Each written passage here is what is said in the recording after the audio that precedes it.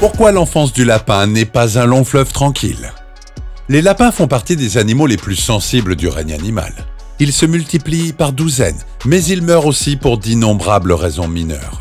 Le plus étrange à propos des lapins est la façon dont les mères traitent leurs bébés, et c'est un peu écœurant de savoir comment elles finissent par les enterrer pour les cacher des prédateurs. Comme les lapines, certains animaux font de mauvaises mères et auraient bien besoin d'une leçon de parentalité. Regardez cette vidéo de 10 mauvais parents animaux et au numéro 1, nous allons vous montrer pourquoi l'enfance d'un lapin est si horrible.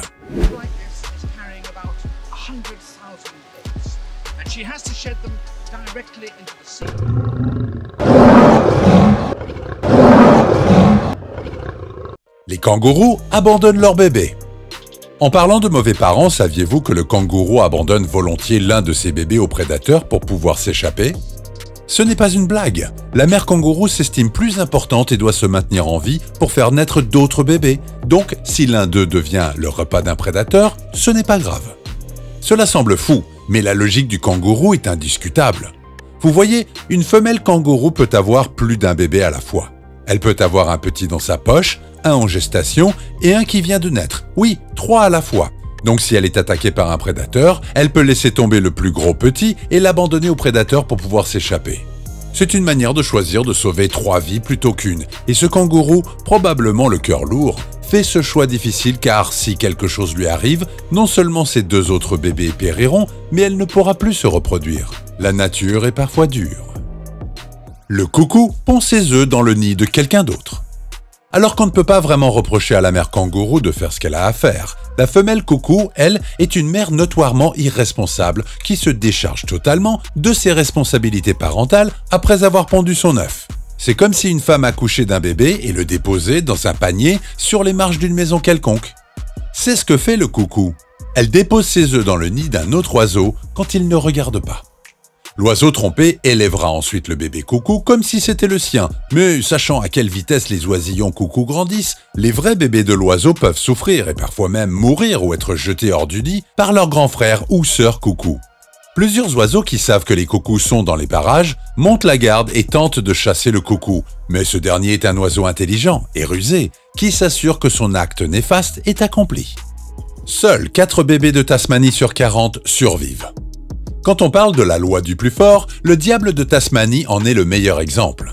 Un diable de Tasmanie que l'on ne trouve qu'en Nouvelle-Zélande et en Australie peut sembler mignon, mais cette petite créature donne naissance à une quarantaine de bébés en même temps.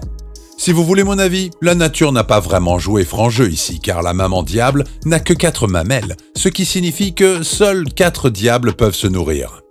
Vous pouvez deviner le chaos qui règne et seuls les plus forts parviennent jusqu'à elle, repoussant souvent les plus faibles. Cela signifie que sur 40 bébés, seuls 4 ou 5 ont des chances de survivre.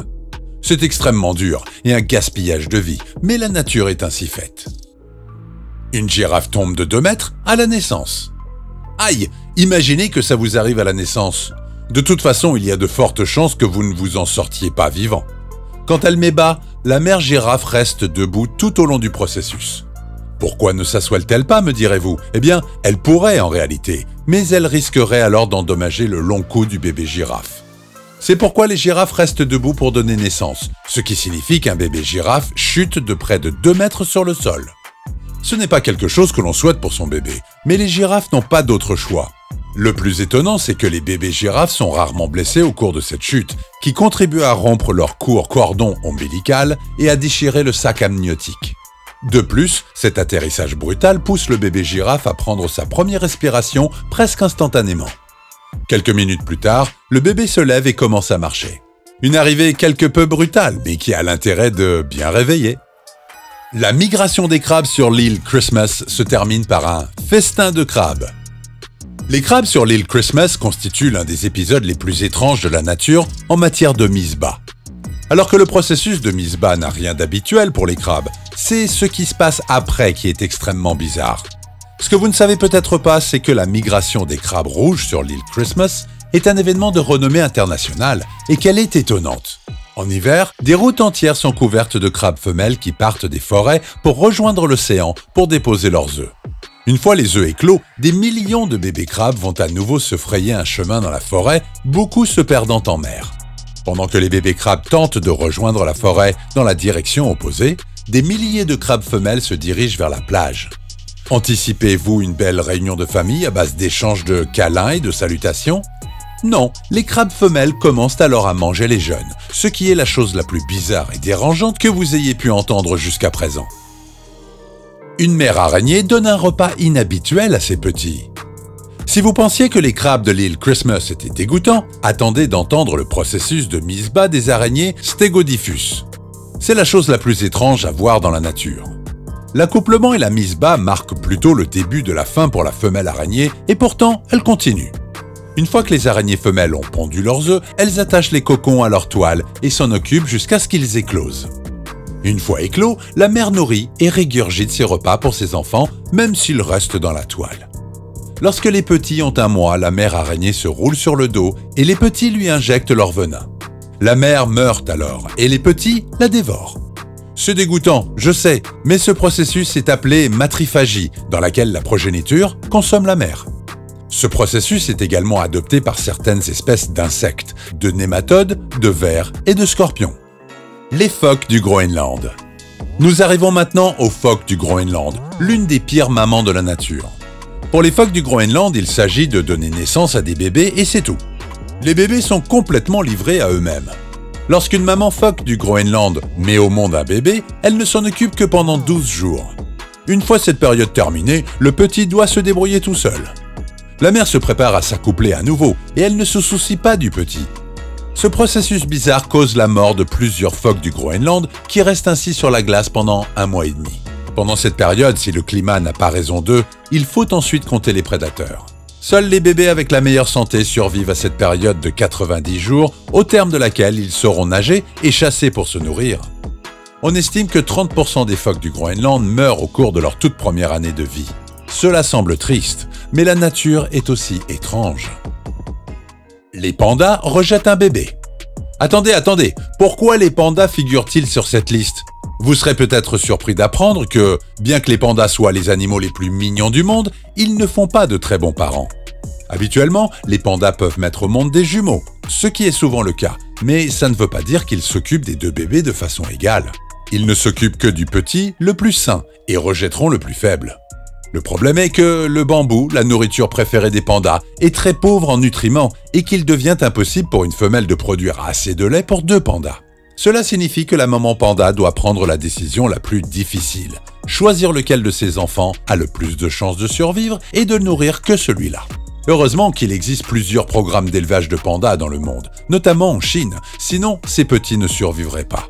Les zoos prennent soin des pandas rejetés, en s'assurant qu'ils reçoivent de l'amour et de la nourriture. Les ours noirs n'aiment pas les oursons seuls. Il semblerait que les ours ne soient pas exactement au sommet de la parentalité non plus. Si les pandas rejettent un seul bébé, les ours noirs ne sont certainement pas parfaits non plus. La période de gestation d'une femelle ours noire est de 7 mois et les bébés naissent généralement en janvier. Lorsqu'une mère donne naissance à un groupe d'oursons, elle s'en occupe comme toute bonne mère du règne animal, faisant souvent des heures supplémentaires pour s'assurer qu'ils soient nourris et soignés. Elle perd également une grande partie de son poids corporel en s'occupant des oursons, mais il y a un inconvénient. Si une mère ours noire donne naissance à un seul ourson, elle l'abandonne tout simplement parce que, pour elle, l'élever ne vaut pas la peine de se donner tant de mal. N'est-ce pas choquant? Les lapins. Remerciez le ciel de ne pas être un bébé lapin. Ce n'est pas de la négligence que vous risqueriez, mais très probablement d'être enterré vivant.